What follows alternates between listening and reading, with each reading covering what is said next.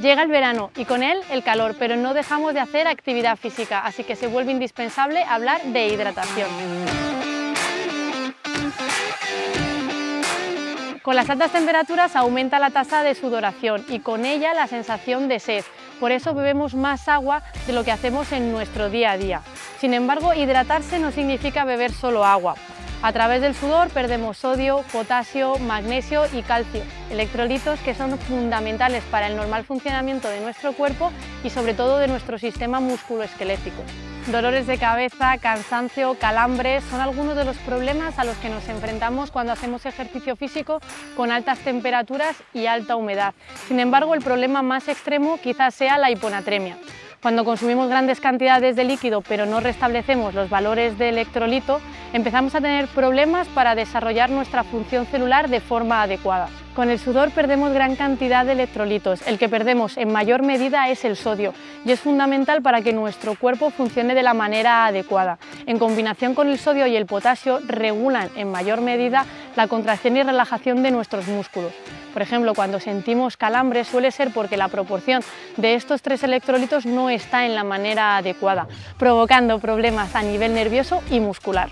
En nuestro día a día y con hábitos de vida saludables ingerimos la cantidad de líquido suficiente y de electrolitos a través de nuestra dieta. Sin embargo, cuando hacemos ejercicio físico en condiciones algo más extremas como las que se dan en verano, es necesario un aporte extra. El sodio, que es el electrolito más importante y el que perdemos en mayor cantidad, Está establecido que se necesitan entre unos 200 y unos 500 miligramos extra a lo largo del día. El sodio lo encontramos en muchos alimentos a lo largo de nuestro día a día. Sin embargo, cuando necesitamos un aporte extra, podemos echar mano de diferentes productos que existen en el ámbito de la suplementación. Normalmente nos acordamos de hidratarnos cuando ya estamos inmersos en la parte más intensa del ejercicio. Sin embargo, puede ser que ya lleguemos tarde. Tenemos que empezar a hidratarnos desde casa, desde los momentos previos a empezar la actividad. Para ello existen multitud de productos, desde disoluciones a cápsulas o comprimidos masticables.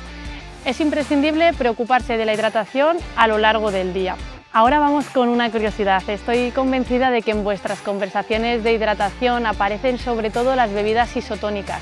Sin embargo, existen otras, las hipotónicas, que también son de vital importancia. Los isotónicos suelen ser combinados, donde aparte de la hidratación también se le da mucha importancia a la energía, mientras que los productos hipotónicos son aquellos en los que se centra la atención en la hidratación.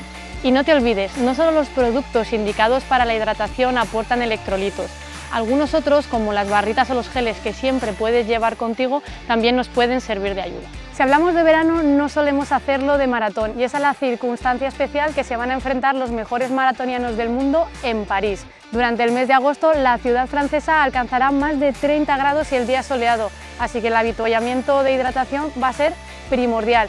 No saltarse ninguno y estar muy atentos a determinados electrolitos, no solo por el calor, sino por las fuertes pendientes a las que van a tener que enfrentarse los corredores y van a tener que tener su musculatura en perfecto estado. Atentos al podium de París, los resultados pueden estar en la mejor estrategia de hidratación.